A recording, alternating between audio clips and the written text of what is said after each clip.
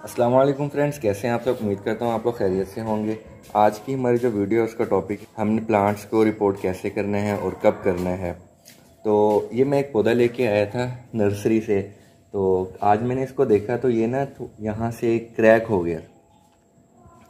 तो हमारा जो ऐसा प्लास्टिक पॉट है, उसके क्रैक होने की दो वजूहत हो सकती हैं।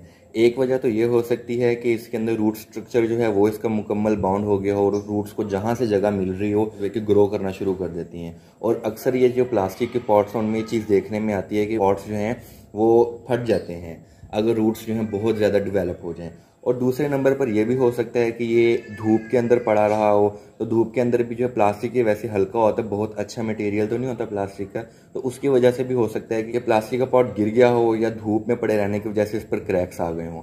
तो चलें, इसको रिपोर्ट करते हैं। वैसे अमूमन जो प्लांट्स है, उनको रिपोर्ट करने का जो टाइम होता है, वो बरसात का महीना होता है। जैसे अगस्त, सितंबर के महीनों में बारिशें होती हैं तो उन महीनों में अगर हम रिपोर्ट करें प्लांट्स को तो वो कोई मसला नहीं है। लेकिन जो आज मैं रिपोर्ट कर रहा हूँ तो अब जून का महीना चल रहा है, लेकिन वजह यह है, तकरीबन एक हफ़्ते से जो है बारिशें हो रही हैं और मौसम के अंदर जो है ह्यूमिडिटी जो है आइडियल ह्यूमिडिटी है। इन दिनों में भी हम जो है अपने प्लांट्स को रिपोर्ट कर सकते हैं और कोई भी इशू नहीं होगा। तो बस हमने करना रिपोर्ट करके हमने करना जस्ट ये है कि हमने इस वाले गमले से निकाल कर इसको डायरेक्ट इसके अंदर लगा देना। हमने इसकी रूट्स को तंग नहीं करना।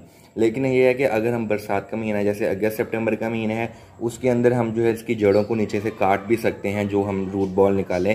अगर रूट बहुत ज़्यादा डेवलप हो जाएँ तो हम उनकी रूट्स को निकाल के थोड़ा सा काट लेके फिर हम उसको किसी दूसरे बड़े गमले के अंदर शिफ्ट कर सकते हैं। तो आज मैंने इस गमले को शिफ्ट करना था तो सोचा मैंने कि मैं आपके साथ भी शेयर कर लूँ।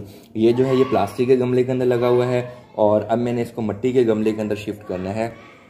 तो मट्टी के गमले के अंदर शिफ्ट करते हुए हमने एक बात का ख्याल रखना है कि जो मिट्टी का गमला है, इसके अंदर एक होल होता है। उस होल के अंदर हमने पहले ये पत्थर रखना है और फिर इसको हमने शिफ्ट करना है।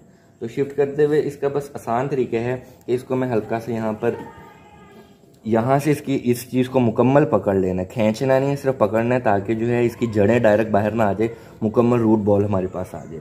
और इसको थोड़ा सा यहाँ पे पटखना है। ये देखें।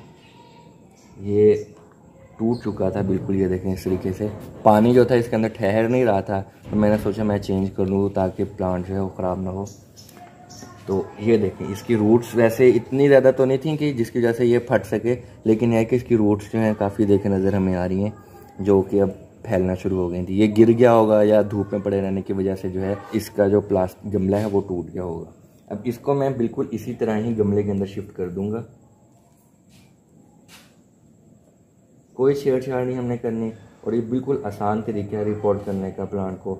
और इससे ये है कि अब प्लांट को किसी भी तरह का कोई मसला नहीं होगा और प्लांट की ग्रोथ जो है वो यहीं से शुरू हो जाएगी।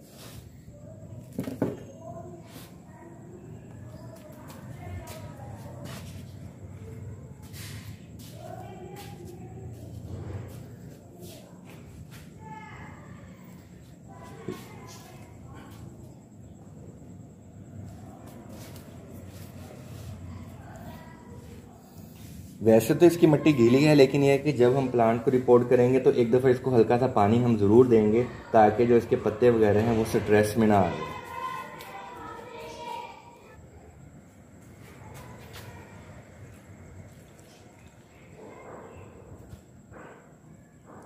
मैं उम्मीद करता हूँ आपको आज की वीडियो पसंद आई होगी। फिर मिलते हैं एक नई वीडियो में एक नए टॉपिक के साथ। तब तक के लिए अल्लाह हाफिज़।